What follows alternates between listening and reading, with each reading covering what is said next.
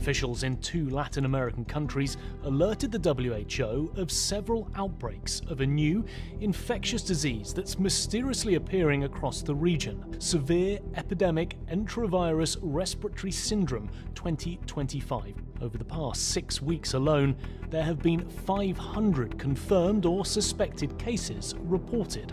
The virus could cause a severe pandemic if early containment and mitigation efforts are not successful. As of today, there have been an estimated 1 billion cases worldwide, with more than 20 million deaths, including nearly 15 million children. Countless millions are alive but left with paralysis or brain damage.